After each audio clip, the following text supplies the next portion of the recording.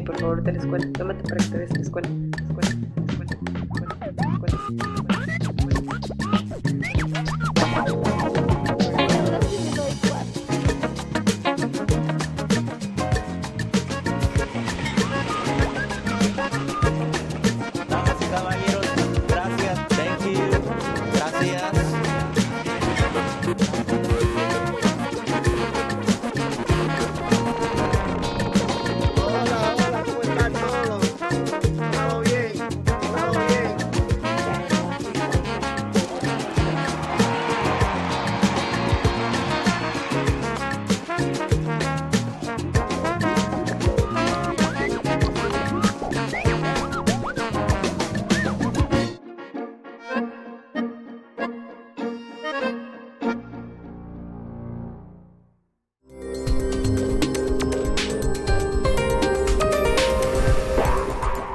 Yo estoy dotada naturalmente para la comedia, entonces es normal que me lleguen muchos porque lo hago muy bien. No mejor. Ya tengo 50 años, no voy a estar con falsas humildades a estas alturas de la contienda. Y ya lo han visto, hoy estará con nosotros la chica Almodóvar Rosy de Palma, que nos hablará de sus dotes innatas para la comedia. Pero también hoy, en NSI Noticias, charlamos con el colombiano Juan Esteban Constaín sobre el hombre que no fue jueves. Además, reflexionamos sobre la realidad del cine indígena con Janet Bailán y también bailamos al ritmo del electro rock de la banda española Cycle.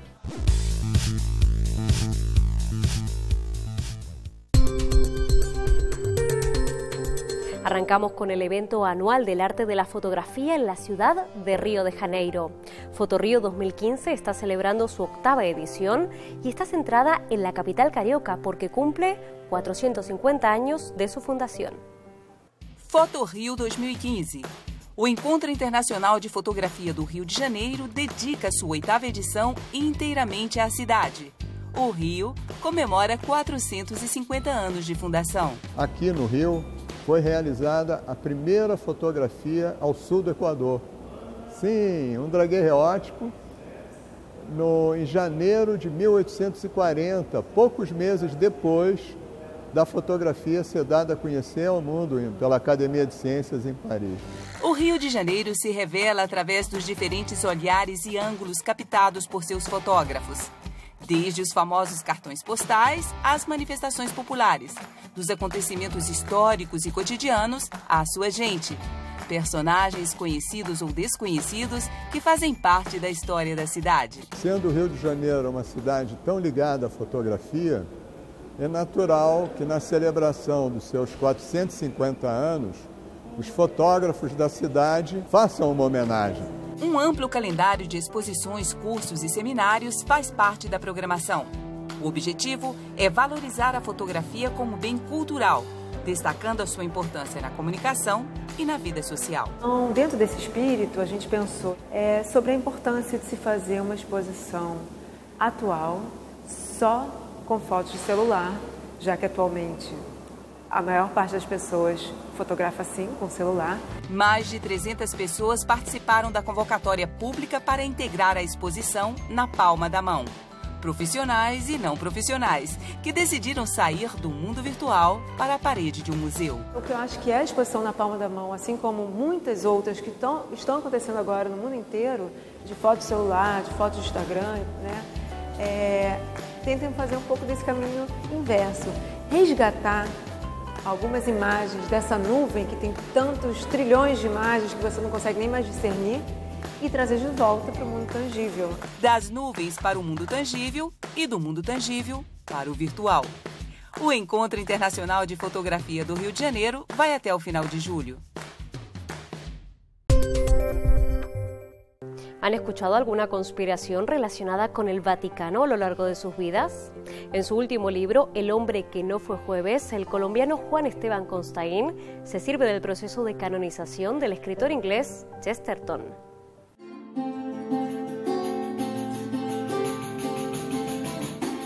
Esta novela es de alguna manera una parodia de ese espíritu conspirativo y de, esa obsesión mediática que hay con los misterios del Vaticano. Chesterton escribió una gran novela que se llama El hombre que fue jueves y como esta novela mía es sobre él y es un juego, me pareció interesante usar el título pero al revés. Hace más de 10 años en Buenos Aires, una aquelarre de chestertonianos le pidió al Vaticano que santificara Chesterton. Desde hace unos años existe la posibilidad de que Chesterton vaya a los altares que lo pondría en muy malas compañías. Y es una novela sobre el bien y el mal, porque esa fue una de las obsesiones filosóficas y morales de Chesterton. Lo que cierra ese dilema entre el bien y el mal, en el caso de Chesterton, es la, el humor. Yo creo que el humor y la ironía son la cifra de la gente inteligente, como ah, la amargura, y el espíritu trascendental suelen ser también la cifra de los idiotas. Por eso Chesterton fue un católico excepcional, casi herético. Quizás el misterio mayor de la iglesia sea la fe misma, ¿no? Y el hecho de que exista.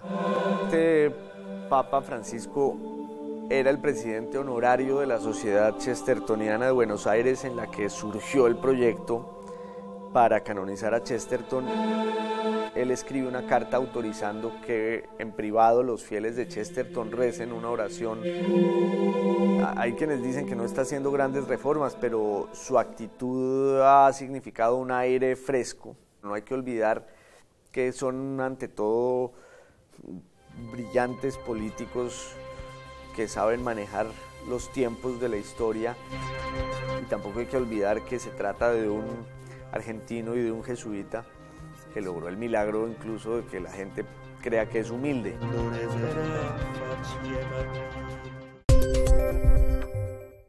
Fue la primera fotógrafa profesional en México. Introdujo a la mujer en el mundo de la fotografía y fue pionera del fotomontaje. Elementos que sirven de carta de presentación de Lola Álvarez Bravo.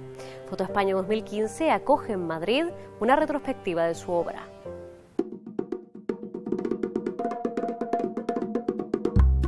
Álvarez Bravo venía de una familia muy conservadora, adinerada, donde, como ella misma dice, fue enseñada de niña a tocar el piano, cocinar y callarse. Conoció casi por accidente a un joven que se llamaba Manuel Álvarez Bravo, que luego se convirtió en el fotógrafo más importante del siglo XX en México. Ella se casó con Manuel en 25 y aprendió la fotografía a través de él. Ella terminó siendo una de las grandes fotógrafas de México en el siglo XX, fotoperiodista, retratista. En la Ciudad de México en los años 30, algo que no era muy común para las mujeres, vivir de manera independiente y trabajar por cuenta propia. Ese México que Lola retrató ya no existe casi, casi. Nunca son fotografías turísticas ni de grandes este, visiones de los edificios públicos. Nunca quiso ir por el sendero didáctico de Tina Modotti, por un lado, o por los muralistas como Diego Rivera y David Álvaro Siqueiros, que eran sus grandes amigos. Lola hizo la primera exposición de Frida Kahlo, la primera retrospectiva de Frida Kahlo en México, ya en 53, al final de la vida de Kahlo, fue en la galería de Lola Bravo, porque aparte de ser fotógrafa, también eh, operaba una de las primeras galerías de arte contemporáneo en la Ciudad de México.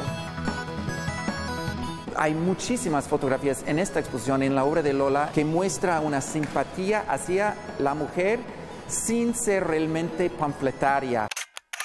Probablemente si hubiera sido realmente una feminista, hubiera rechazado el nombre de su, de su primer marido.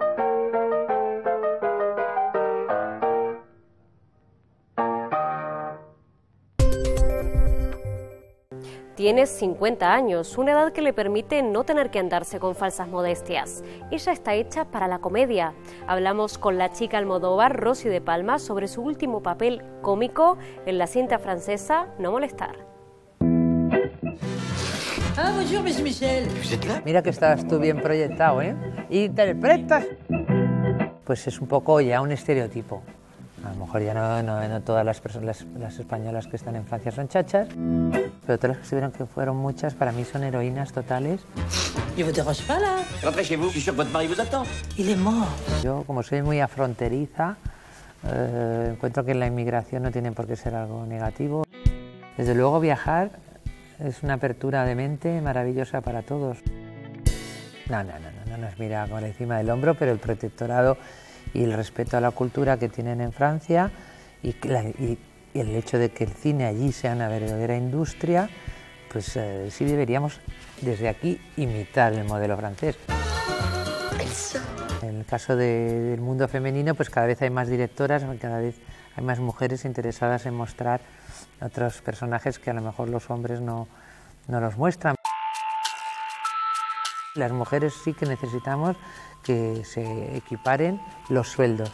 Por ejemplo, una Meryl Streep, siendo Meryl Streep, cobra la mitad de cualquier actor menos conocido y menos potente que ella en la misma película. Solo es creo que en la profesión de modelo donde las mujeres cobran más que los hombres. ¿Qué le pedirías a la persona amada? Yo estoy dotada naturalmente para la comedia, entonces es normal que me lleguen muchos porque lo hago muy bien. No mejor. Ya tengo 50 años, no voy a estar con falsas humildades a estas alturas de la contienda. Yo creo que el humor se tiene que saltar todas las reglas, sea humor negro, sea un humor satírico, tiene que ser un comodín y que no tiene que, que dejarse dominar por nada. El bigote no es solo patrimonio de los hombres, ¿eh? ¿No? No. De hecho, los hombres con bigote o son maricones o fachas. Ambas cosas a la vez. Justamente es ahí donde se puede jugar hay sensibilidades. Pour nous deux, elle sait. Pour rien. Non, je te dis qu'elle n'a rien découvert.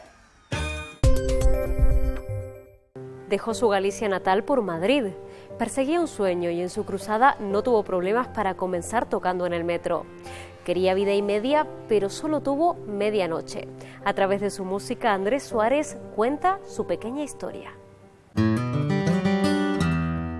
Yo venía, como bien sabes, de dos discos, no te voy a decir pesimistas, pero sí dentro de un estado melancólico, bucólico, bucólico depresivo de una relación eh, que nunca llegó a ser, de una ruptura, ya ves tú lo original que soy. Juraré una vida nueva. Abrí la persiana, eh, me autocritiqué diciendo ya está bien, es decir, eh, dolía, pero coño, ¿cuántos discos más, no?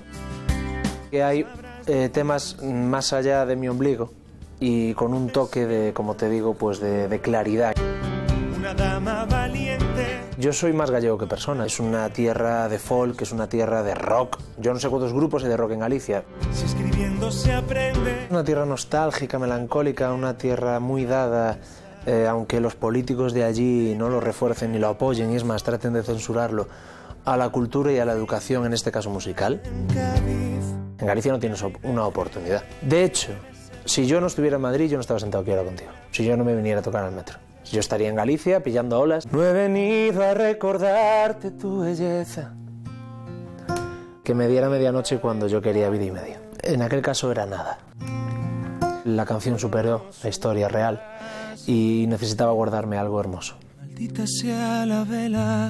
Así que escribí eh, mi forma de ver aquella historia, que nunca fue de dos. Si supieras lo que te miro a escondidas.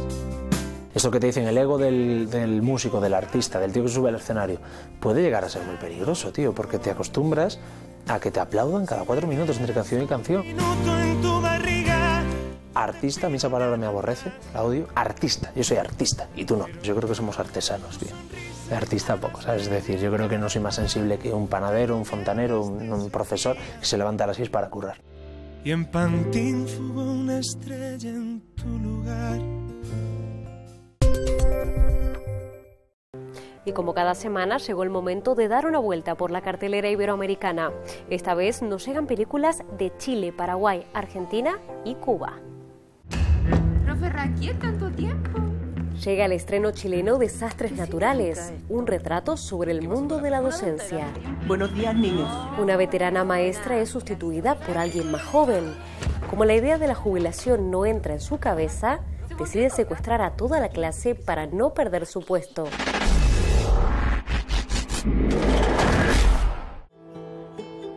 ¿Por qué estamos haciendo la película? El Festival Internacional de Cine de Derechos Humanos de Buenos Aires exhibe la producción paraguaya El Tiempo Nublado. Existe la opción de que vos venga conmigo a Suiza y te quede en mi casa. Arami quiere trasladarse a Suiza para vivir con Patrick, pero eso supone dejar a su madre enferma en Paraguay. Decidirá marcharse o quedarse. Lo que intento yo hacer con la película es perdonarme yo a mí a mí también.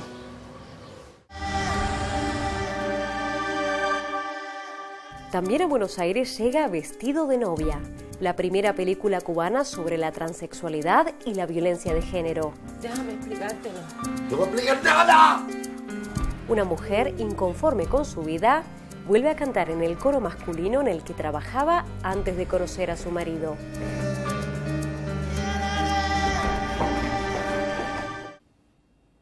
¿Por dónde empiezo? Por donde te parezca mejor. Argentina, Brasil y Francia coproducen Paulina, la patota, una cinta rodada en Misiones, un lugar donde aún perdura la lengua guaraní.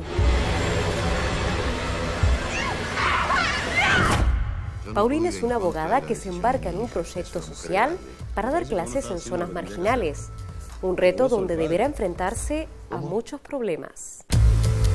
Vos sabés muy bien que esos son los tipos que te atacaron. ¿Por qué no me dejaste a mí? ¿Por qué no me avisaste? Dejarme a mí, ¿qué hubieras hecho? Yo estoy actuando de acuerdo con la justicia. Viajamos a Barcelona para entrevistar al director de la emblemática revista Ajo Blanco. Pepe Rivas nos contó los preparativos para cruzar el charco y llevar a Buenos Aires y a Santiago de Chile una exposición sobre la revista.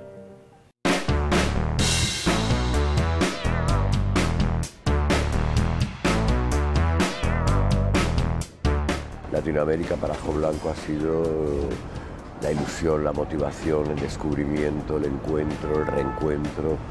Siempre nos ha dado muchísimo ánimo las realidades plurales de Latinoamérica por ser ese, ese conjunto de pueblos y de culturas, de megalópolis, de Amazonía. Se nota mucho la, la capacidad de lectura, la capacidad de concentración, el, amor a la letra impresa.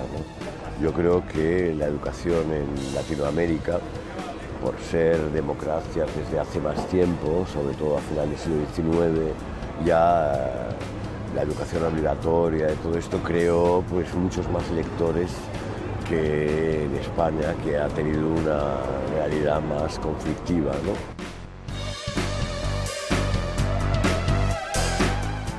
Pateado bastante la realidad latinoamericana y hemos, yo creo que fuimos muy pioneros en presentar una América Latina diferente al público español, que esto ayudó mucho al reencuentro de esos dos mundos. ¿no? La alternativa a la contracultura para mí es... una sociedad totalmente libertaria, utópica. Yo creo que es un documental fascinante porque explica la otra cara de la historia que ha, ha vivido España en los 70, los 80 y los 90 y explican muchas cosas de la realidad presente y sobre todo porque empalma con la experiencia de los indignados y la toma de las plazas y todos los movimientos sociales que han surgido desde el 2011.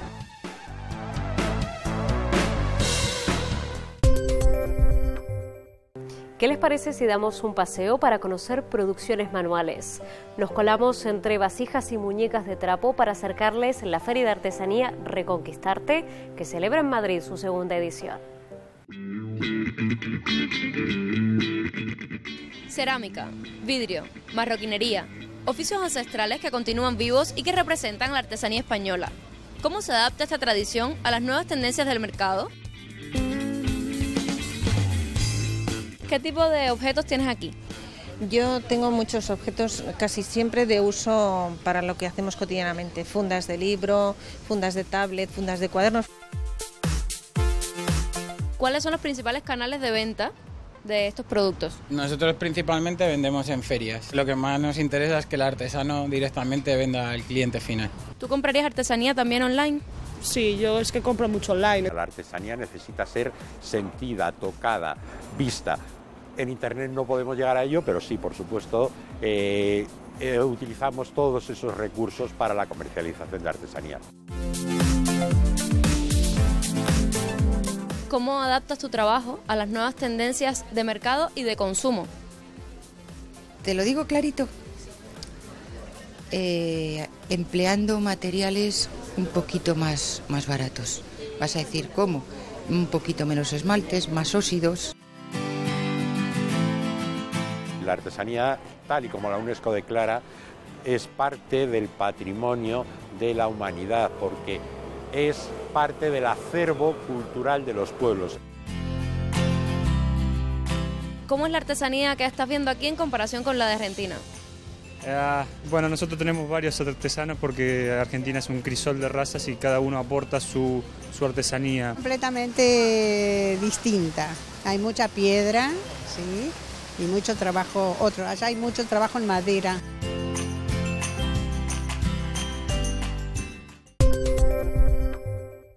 Son una banda electro rock donde no solo hay chicos, hay un componente femenino en sus filas, un componente clave. Y es que la China es gran parte de la esencia de Cycle, un grupo que celebra su décimo aniversario con su álbum Dance All Over.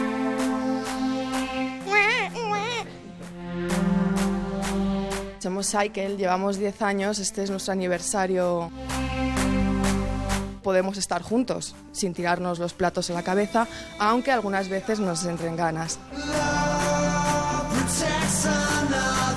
Nuestra música Define el sonido, Juanjo, Juanjo Rey, guitarrista de Cycle. Algunas de ellas son canciones de rock vestidas en un contexto más electrónico, ¿no? Indie, por supuesto que no, por lo menos para mí. Pero no pasa nada. Amor para todos. Se compuso de noche el, el disco enteramente con un, en, en un, con un ambiente bastante de fiesta. She got a whiff of the melody clover. Estar en una banda de pibes.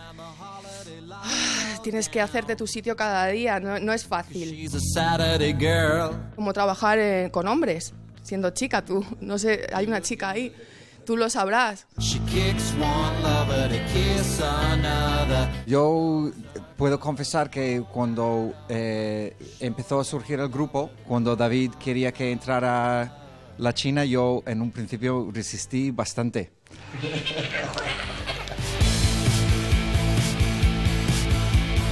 Tuve que reconocer de que la esencia de Cycle, Cycle ya se sabe que sin mí Cycle existe, pero sin la China no.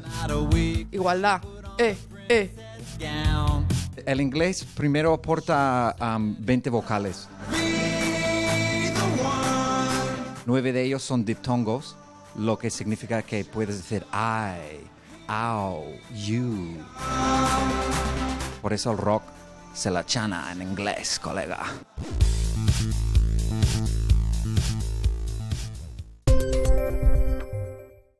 Turno ahora para la reflexión. Hoy la documentalista mapuche Janet Pailán nos habla sobre cine indígena. ¿Cuáles son las principales demandas de los pueblos indígenas? ¿Cómo se ven reflejados en el séptimo arte?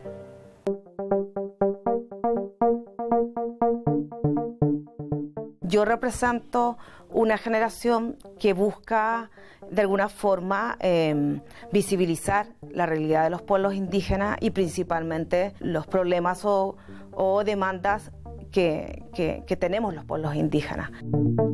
Siento que está saliendo una nueva generación que está dando cuenta de otras miradas de los pueblos indígenas. Habla también de un nivel de madurez, madurez del propio, de los propios indígenas que ven ya el cine no como algo distante en el cual nosotros no podamos tener eh, posibilidad de explorar.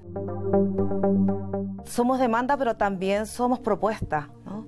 y, y tenemos opinión, tenemos ideología, tenemos un punto de vista y una, y una manera crítica también de cómo, de cómo entendemos el tipo de sociedad en la que nos han involucrado.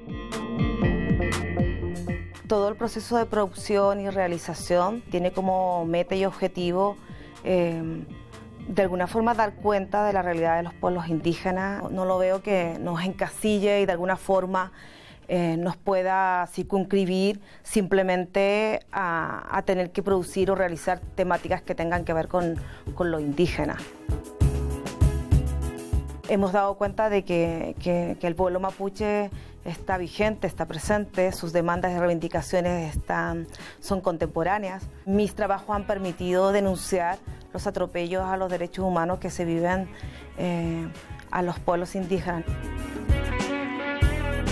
Hoy día el cine indígena, yo me, me atrevería a decir que a nivel eh, latinoamericano lo está financiando fondos internacionales, no los estados, no los propios países donde vivimos. Si hubiese las posibilidades en, nuestros países de, que, de tener acceso a los medios públicos, pudiésemos tener una mirada mucho más amplia que la que se muestra hoy día en los medios de comunicación. Ahora, con motivo del Día de la Música en Europa, nos dejamos con ese arte que no conoce fronteras. Disfruten y hasta la próxima.